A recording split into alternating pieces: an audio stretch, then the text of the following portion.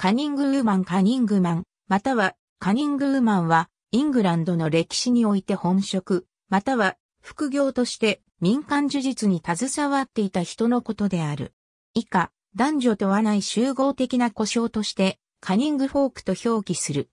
このような人々はしばしば魔法使い、賢い人、獣医、拝み屋とも呼ばれていた。デボン州以外の地域では近代までカニングフォークのことを指して白魔女という言葉が使われることは滅多になかった。カニングクラフトとウィッチクラフトの関係については意見が分かれる。歴史学者のロナルド・ハットンは、後者は純粋にヨーロッパの魔女狩りにおける民衆の幻想に過ぎなかったと考え、そのため両者は瞬別されると主張する。彼はカニングフォークという言葉をブリテン諸島だけでなく、イタリアやヨーロッパのその他の地域における民間呪術師に対しても用いている。E. ウィリアム・モンター、エーボ・ポクス、カルロ・ギンズブルグ、グスタフ・ヘニングセンといった他の歴史学者らは、キリスト教の聖職者や教会法学者から着せられた悪魔的外皮を除くと、多くの諸個人がウィッチクラフトのステレオタイプに多くの点で適合する信仰と実践を有していたとし、その限りにおいて魔女はかつて実在していたと主張する。特にモンターは、イングランドのカニングフォークとフランスの白魔女との間の際立った類似性を確認し、両者が共通の信念体系から生じたものである可能性を見出している。他の多くのヨーロッパの呪術の従事者と同様、カニングフォークは依頼人の苦しみの原因である魔女を特定することにより、魔女発見者の役割を果たすこともあった。魔女と反魔女を区別することはヨーロッパ中でほとんどないが、地域の信頼された呪術師は反魔女とみなされた。一方でその地域社会の外部の呪術師は魔女と見られることの方が多かった。オーウェン・デイビーズの歴史研究は英国の農村や都市の暮らしにおいてカニングフォークがどの程度人々に認められた役割を持っていたかを明らかにした。それによると19世紀には国中で数千人の従事者がいたと見積もられる。国中の町や村で公然と仕事をしている姿が見られたと想像され、彼らは地域社会の有用な成員であった。一部のカニングフォークは成功を収め、何マイルも離れたところからも依頼人を呼び込むまでになった。ほとんどのカニングフォークは限定的なサービスを狭い地域に提供した。カニングフォークは良い暮らしをすることもできた。彼らの仕事には通常、規定の料金があった。稼いだ金のために彼らは特に教養ある層から騙されやすい人から隠し芸で金を取る詐欺師やペテン師とみなされることも多かった。予言を確かなものにするために客の身辺を密かに探る、決して見つからないはずの巨万の宝の存在を再三再死受け合う。盗みや妖術を働いたとして罪なき人を告発するといったようなペテンに引っかかる者もいたのは確かである。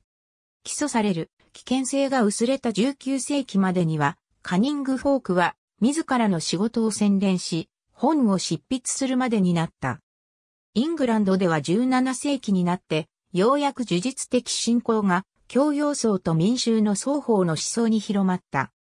この民衆呪術の一部は旧期信仰すなわちカトリシズムから受け継いだものであった。カトリックの司祭はラテン語の祈りの文句を繰り返し唱えたり、ミサに参弟子したり、さらには生体を捧げ持つ司祭を目にするだけでも、旅の安全、安産、失せ物を取り戻す、失明を防ぐといった恩恵が得られると宣伝した。全キリスト教的な呪術的信仰と儀式も、また、近世に未残存していた。自然の精霊と異教の神々は、聖人と同じように崇拝されていた。古代の祖先崇拝の伝統は死者への崇拝という形で保存されており、教会歴の聖なる行事のほとんどは甘えキリスト教の祝祭の上に重ねられたものであった。多くの祝祭と地域社会の行事はキリスト教的な装いの下に異教的儀式を保存していた。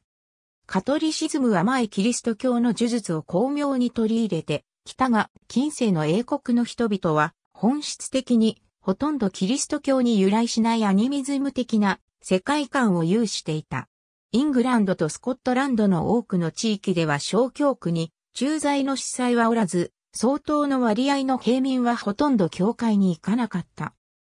教会に行く人についても多くは無関心であるか、無理解であったため、キリスト教の初歩的な教義も知らないありさまであった。一方でこうした人々は、複雑な呪術的信仰体系を奉仕していた。特にそれは、妖精、自然の精霊、亡霊に関連していた。民衆の間では、妖精、天使、聖人、亡霊、悪魔の間の区別はあまりなかったが、妖精はほとんど常に死者と結びつけられた。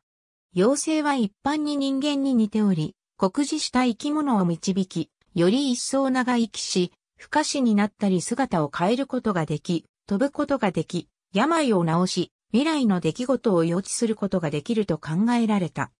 幸運を求める心と意不信から、人々は、こうした存在の起源を損ねないよう心がけていた。人々は、呪術の専門家を通じて、生活上の重要な問題、とりわけ健康に関することにも、妖精の助力を求めた。妖精がほとんどの病気を引き起こし併誘させるという信仰は民衆の中に保たれていた。一般の人々も普段から自分で、まじないや儀式的行為を行っていたが、一層の熟練の技を要する場合には、呪術の専門家に頼った。彼らは賢い人、魔女、魔法使い、まじない師、拝みや、祈祷師、夢占い師と呼ばれ、これらの故障は、痴漢可能であった。こうした専門家のほとんどは無教養で貧しい階層の出身であったが、少数ながら相当数の人々は自由民で呪術の指南書をも所持していた。魔女が使い魔を刺激していると信じられたように、カニングフォークも仕事において、しばしば精霊や使い魔を刺激したようであるが、実際、カニングフォークと魔女をはっきり区別することは困難であり、近世には区別はしばしば曖昧になった。一部のカニングフォークは完全に良きものとされていたが、それ以上に多くのカニングフォークが両義的な存在として見られ、幾ばくかの恐れを抱かれた。妖術に対する守り、彼らの重要な役割の一つであり、金になる仕事であった。カニングフォークは妖術を察知し、魔除けを使って、これに対抗することができると主張した。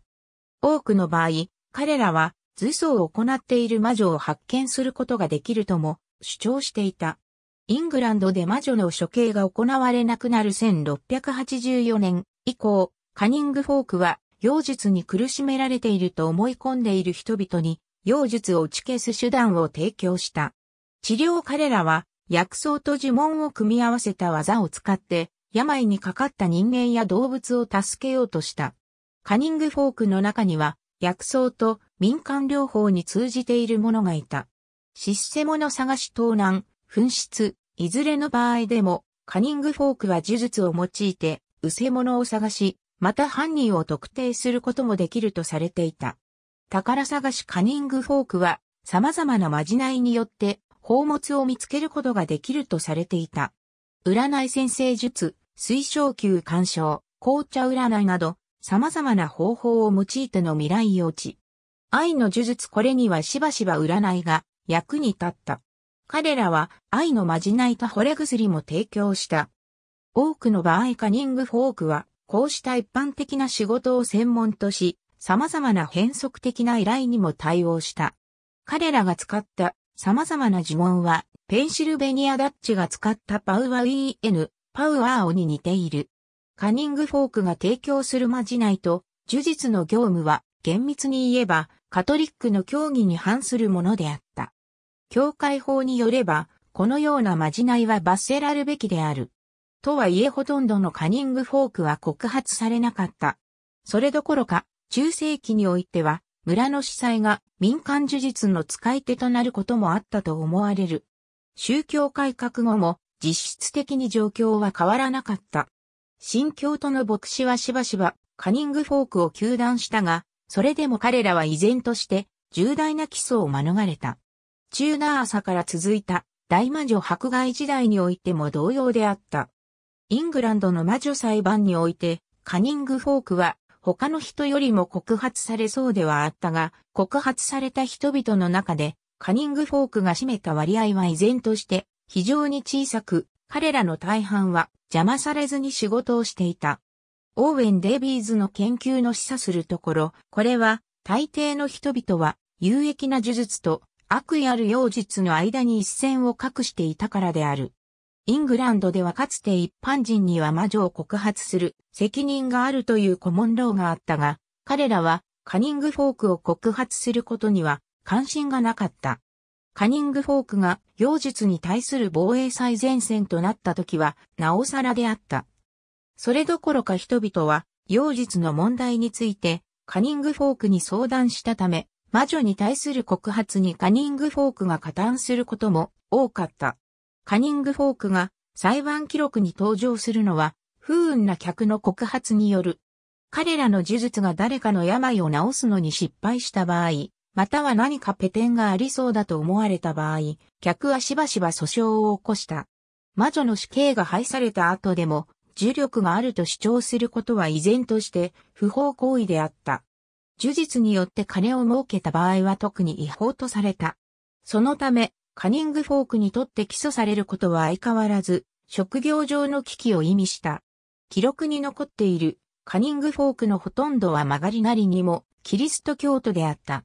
カニングフォークには、司祭もいれば、献身的に教会に通う人もいた。中には滅多に教会に行かない人もいたが、彼らが古代の神々を礼拝するという意味での異教徒であったという証拠はない。一般にカニングフォークは、呪術がいかに作用するかということは気にしなかった。彼らとそのコミュニティにとって重要なことは、呪術が効いたと人々が思うことである。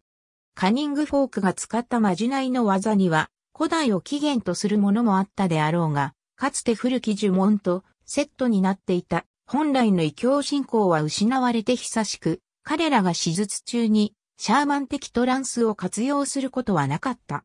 実際、彼らが使ったまじないは中世キリスト教的な民間呪術であり、しばしば神やイエス、マリア、聖人の名を唱えた。このため宗教改革後の時代には、カニングフォークはしばしばカトリック教徒として告発された。というのも彼らが頼ったものといえば、旧期信仰として当時排斥されたローマカトリックと相場が決まっていた。スチュアート朝までは自分の力は妖精から教わったのだと主張する者もいたが、この考えは後に廃れた。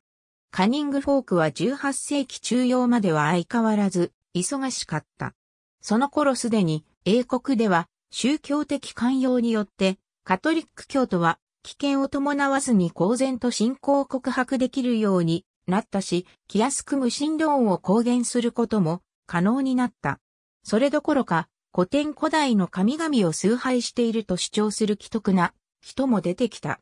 もはや異教信仰を隠すべき理由はほとんどなかった。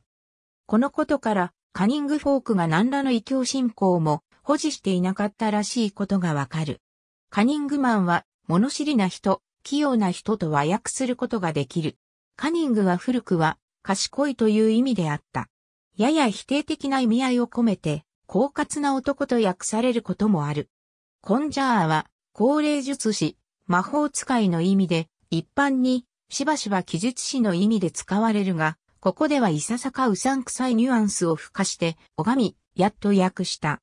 ウィッチクラフトは本によっては魔女術とも魔術とも訳されているが、本校ではかつて民衆の間で魔女の仕業と信じられた画薬をもたらす呪術という意味でのウィッチクラフトを妖術と表記する。モンター、E. ウィリアム、 Witchcraft in France and Switzerland ハット AB ポーチ、エヴァ、 Between the Living and the Dead、ハットギンズブルグ、カルロ、 Ecstasies, Deciphering the Witches' Sabbath、ハット・ウィルビー、エマ・ Cunning Folk and Familiar Spirits, Shamanistic Visionary Traditions in Early Modern British Witchcraftマジック、ブライトン、サセックス・アカデミック・プレス、ISBN 1から8451907993、P12 ウィルビー P13 ウィルビー PP、14から16、ウィルビー PP、17から21ウィル BPP、26から7ハットウィル BPP、51から 4? ありがとうございます。